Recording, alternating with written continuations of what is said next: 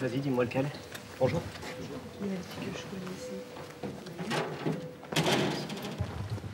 Chaque matin, depuis lundi, Nicolas et Florine se rendent à la cour d'assises du Nord, à Douai. Mais ça, ça, ça- ça prouve quand même une chose, même si ça n'a pas un lien direct, ça prouve que c'est un menteur. Oui. Et qui ment en permanence. Ils viennent assister au procès du meurtrier de leur sœur et mère. Bonjour, vous allez bien? Ça va, oui. Vous êtes prêts pour ce matin Comment? Vous êtes prêts pour ce matin? Je sais pas. On verra bien. Ça va aller. Merci. Merci. Nathalie Debailly, cadre dans une banque à Lille, avec 47 ans.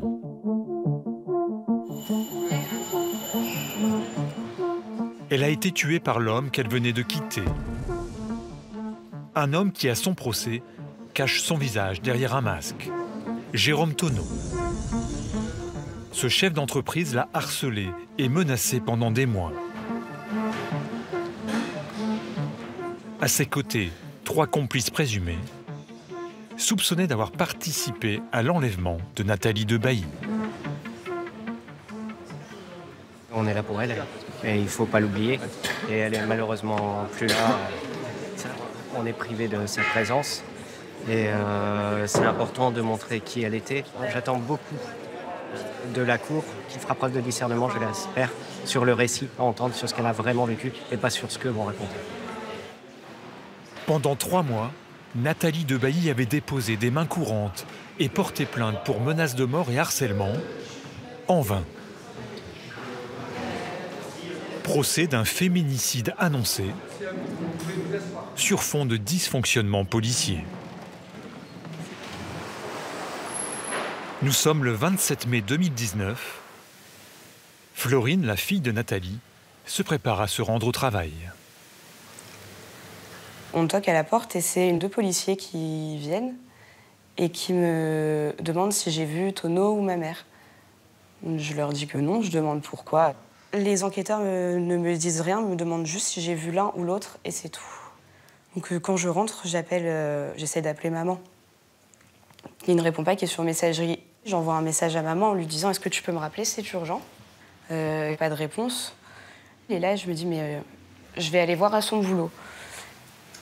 Et quand je me retrouve dans l'ascenseur avec, je crois, une collègue assez proche de maman, du coup, elle me dit il y a un problème, euh, ta maman, elle n'est pas au travail. Dans ma tête, je me dis mais il y a eu un accident sur la route ou je sais pas tout de suite ce qui se passe. Et elle me dit il y a sa voiture dans le parking, mais elle n'est pas là. Et là, je me dis mais c'est tonneau. J'imagine qu'il l'a enlevée.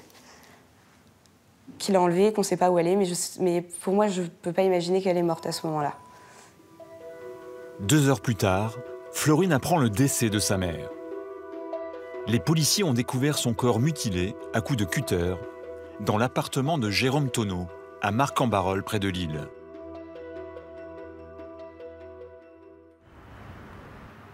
Et toi, t'as des photos de soirée aussi? Oui. Elle était belle. Oh, magnifique. Celle que je préfère, si elle est là. Oui. On la voit bien là. Vous étiez à Bruxelles, non? C'est pas ça? Ouais, c'est ça, regarde là. Cindy, Marianne et Geoffrey sont des voisins devenus de proches amis de Nathalie.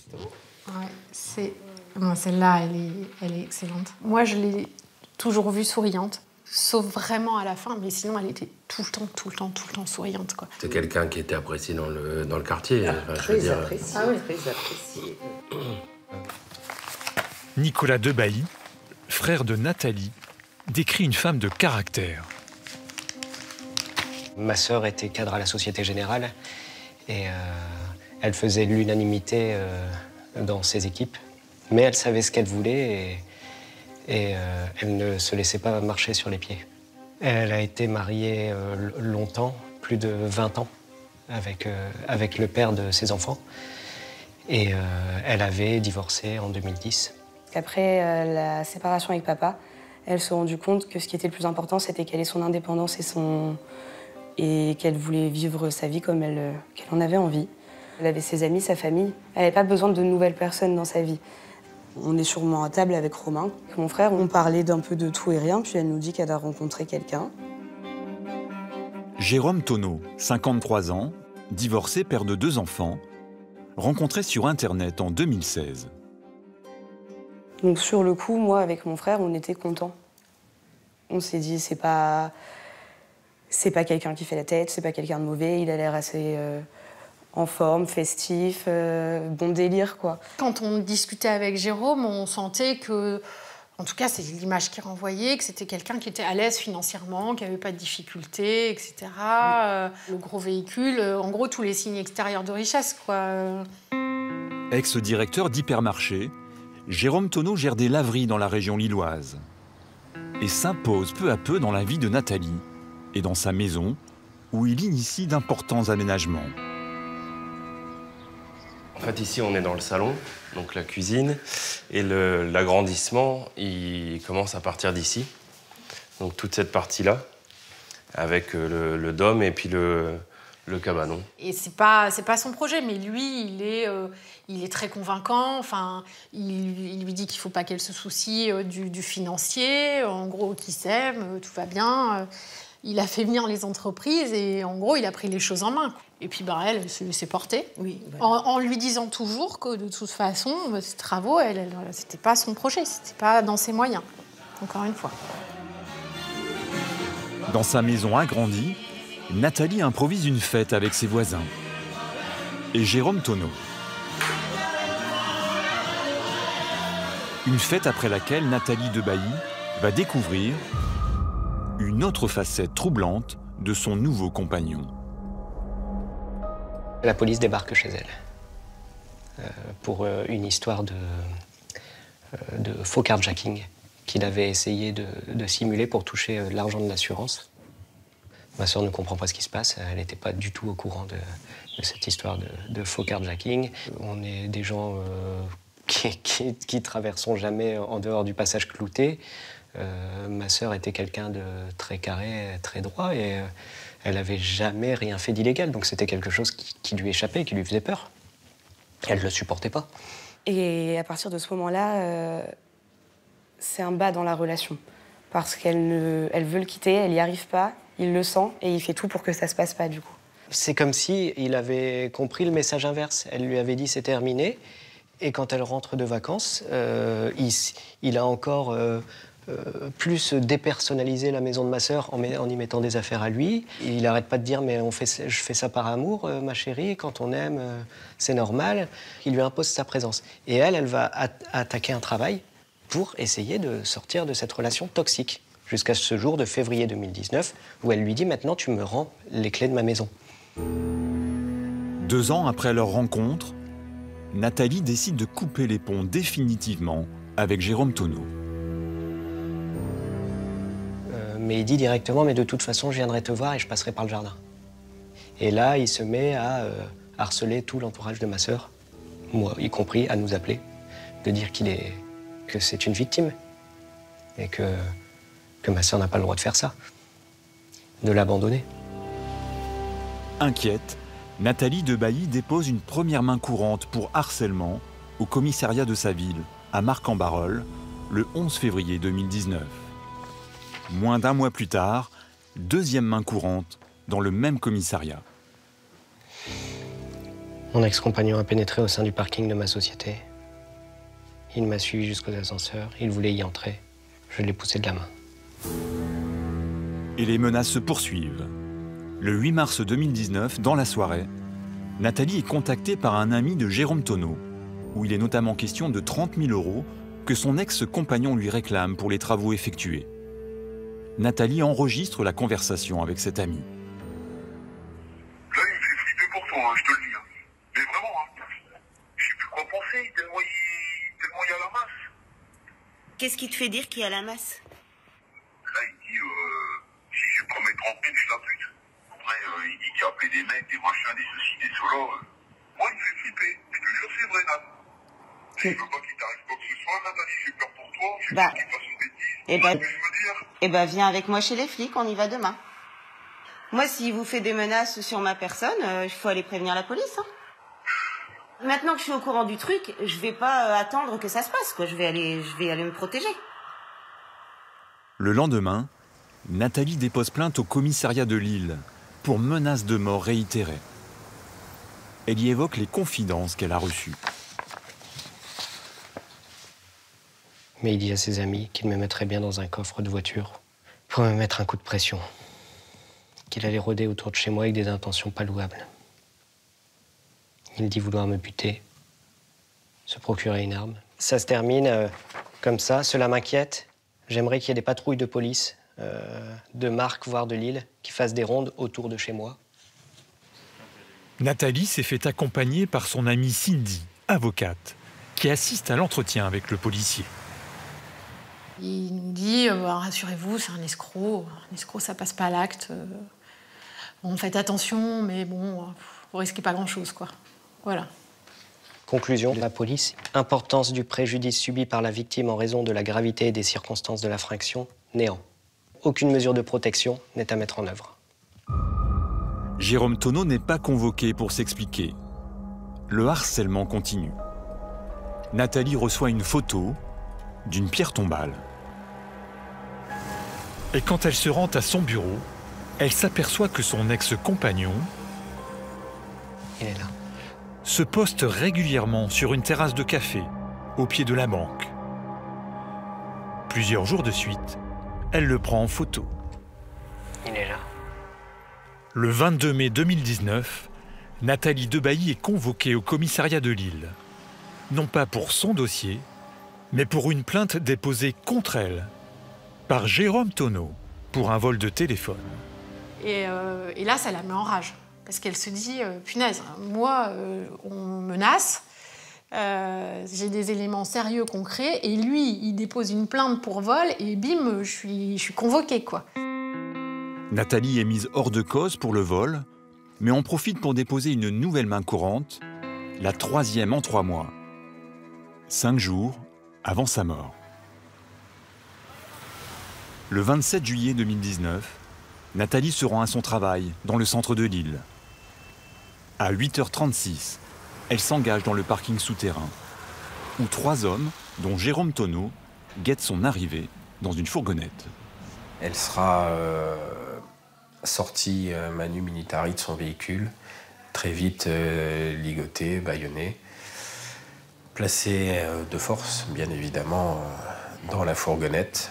Un employé de la banque va arriver dans ce parking, va très vite prendre conscience qu'une agression euh, se met en place, va tenter de réagir et euh, Jérôme est muni euh, d'une arme qui envoie des projectiles en caoutchouc,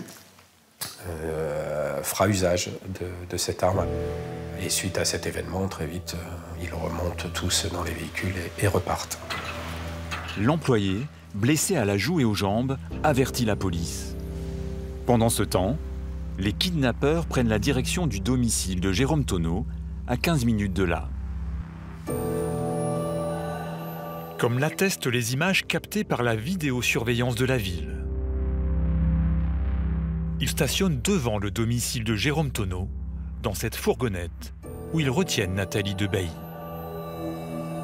Donc Nathalie va être euh, enveloppée dans un drap, sortie sur le trottoir, donc euh, de- devant chez Tonneau, euh, et montée par un petit escalier en colimaçon, emmenée dans la ba- baignoire. Jérôme va euh, prendre la carte bleue de Nathalie, descendre euh, de son appartement, se rendre à un guichet automatique euh, à proximité, tirer de l'argent du compte de Nathalie, payer ses comparses. C'est de l'ordre de 300 euros chacun. Ceux-ci quitteront euh, très vite euh, l'appartement et là, il se retrouvera seul avec Nathalie. Et c'est à partir de là qu'il euh, décidera euh, de l'égorger dans sa baignoire. À 12h30, près de 4 heures après avoir été averti de son enlèvement, la police découvre le corps de Nathalie Debailly. Jérôme Tonneau a lui disparu. Deux jours plus tard, il réapparaît hébété. Il a absorbé des médicaments. Il est interpellé alors qu'il se rend chez lui. Placé en garde à vue, il reconnaît les faits. Ses trois complices présumés, membres de la communauté rome, sont également interpellés dans ce camp. Pour tenter de comprendre le comportement de Jérôme Tonneau, il faut remonter le fil de sa vie. Issu d'un milieu aisé, son père était cadre bancaire, son adolescence a été marquée par un drame, comme le raconte sa mère. C'est le décès de son père et de sa sœur euh, dans, dans le véhicule où, où il, où il était. Le véhicule a été, euh, était sur le passage à niveau au moment d'un passage d'un train. Donc il avait Il avait 13 ans. Ça l'a beaucoup hum, perturbé. D'ailleurs, il arrivait difficilement à rester seul. Il m'est arrivé de devoir revenir de mon, de mon travail parce qu'il avait des crises d'angoisse. Euh, Cet accident a créé euh, ce qu'on appelle le- une faille abandonnique, qui euh, a été relevée par les, euh, les experts lorsqu'il a été euh, examiné dans le cadre de ce dossier d'instruction. Il a tellement peur de perdre l'ami qu'il aime, la femme qu'il aime, qu'il en devient euh, ex- extrême dans sa façon d'aimer, c'est-à-dire possessif, euh, où il veut tout gérer, tout maîtriser. Le meilleur moyen de ne pas perdre l'autre dans ce fonctionnement psychique euh, est de le rendre dépendant. Les enquêteurs découvrent qu'avant sa relation avec Nathalie Debailly, une ex-compagne de Jérôme Tonneau a déposé une main courante après s'être sentie harcelée et qu'une autre a porté plainte pour vol et violence. Une plainte classée sans suite. Dans l'affaire Nathalie Debailly, l'enquête a démontré que, alors même que la quadragénaire alertait en vain la police depuis trois mois, Jérôme Tonneau planifiait son enlèvement. Une préméditation assumée. Il y aura quelques tentatives d'enlèvement de Nathalie euh, euh, dans, les semaines, hein, les jours et semaines qui précèdent son meurtre, qui vont échouer, euh, soit parce qu'il a fait marche arrière, euh, soit parce qu'il n'y est pas arrivé. Mais il a du mal encore aujourd'hui à, comprendre son geste qu'il qualifie lui-même hein, d'abominable et d'impardonnable. Les proches de Nathalie Debailly estiment aujourd'hui que la police a failli. Tout d'abord le jour du meurtre. Selon l'avocate de la famille, les policiers n'auraient pas agi assez rapidement après avoir été alertés de l'enlèvement. Les policiers euh, s'appellent pour savoir qui fait quoi. Finalement, euh, ils vont euh, une demi-heure plus tard sur le lieu d'enlèvement. Évidemment, c'est un enlèvement, il n'y a plus personne. Et puis, de fil en aiguille, ils vont aller à 10h30, c'est-à-dire quasiment deux heures après l'enlèvement, devant l'appartement de Tonneau. Nous avons effectué une reconstitution et nous savons qu'à 10h30, Nathalie était vraisemblablement décédée. Mais par contre, si des policiers s'étaient immédiatement rendus au domicile de M. Tonneau, eh bien, elle aurait, on peut l'imaginer, été sauvée. Une enquête administrative de l'IGPN, la police des polices, a conclu que les policiers lillois avaient agi avec professionnalisme et rapidité, mais a tout de même jugé qu'un service plus aguerri aurait dû être saisi dès le début de l'enlèvement. Autre question. Pourquoi la plainte déposée par Nathalie Debailly au commissariat de Lille n'a-t-elle eu aucun effet? Elle aurait dû être transmise au procureur, ce qui n'a pas été le cas. Conséquence, aucune suite n'a été engagée. Jérôme Tonneau n'a jamais été convoqué. Donc évidemment, s'ils euh, l'avaient convoqué, il aurait, il aurait probablement, euh, il aurait probablement arrêté. Mais là, finalement, plus il menace, plus il fait monter la pression, moins il se passe de choses. Donc en fait, il a un sentiment d'impunité qui s'installe et qui le conduit à, penser qu'il peut tout. Sur ce point, une autre enquête de l'IGPN a conclu à des manquements déontologiques et professionnels au sein du commissariat de Lille. Deux policiers ont reçu un blâme et un avertissement, soit les sanctions les plus faibles. Mais la famille de Nathalie Debailly veut aller plus loin. Elle a déposé une assignation contre l'État pour défaut de protection. Une audience est prévue fin 2024. Cette semaine à Douai, au procès de Jérôme Tonneau, l'avocate générale qui représente la société a fait un premier pas vers la reconnaissance de la responsabilité de l'État en s'adressant aux frères de Nathalie Debailly.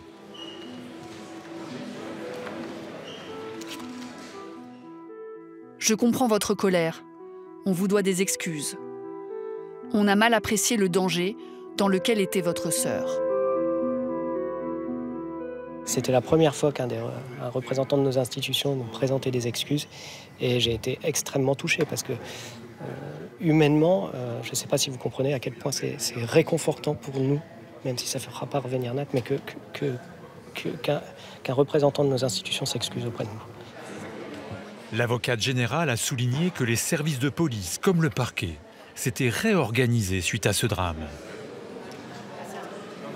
Faut se dire que c'est le dernier féminicide commis dans ces circonstances et dans ces conditions et faire de ce féminicide un dossier d'école pour euh, améliorer, pour euh, euh, scienticiser finalement la prise de plainte, pour critériser le, danger, les suites à donner, l'intervention des policiers. C'est déterminant pour nous, pour sauver d'autres femmes et d'autres vies. Dans son box, Jérôme Tonneau alterne les moments d'agitation et de total accablement. Au cours de l'enquête, un psychiatre, parmi ceux qui l'ont examiné, s'est interrogé sur une éventuelle altération de son discernement au moment des faits. Pour ses avocats, la question se pose. C'est un homme qui a lutté toute sa vie entre soit la dépression, si c'est pas une dépression, c'est des tentatives de suicide. Si c'est pas des tentatives de suicide, c'est la folie. L'expert qui a considéré qu'il y avait une altération du discernement est celui qui l'a examiné en garde à vue, c'est-à-dire au plus proche euh, du passage à l'acte, contrairement aux autres psychiatres qui l'ont examiné des mois euh, après le passage à l'acte. Donc bien évidemment, son positionnement euh, sur la raison pour laquelle il a considéré qu'il y avait une altération est extrêmement importante dans ce procès.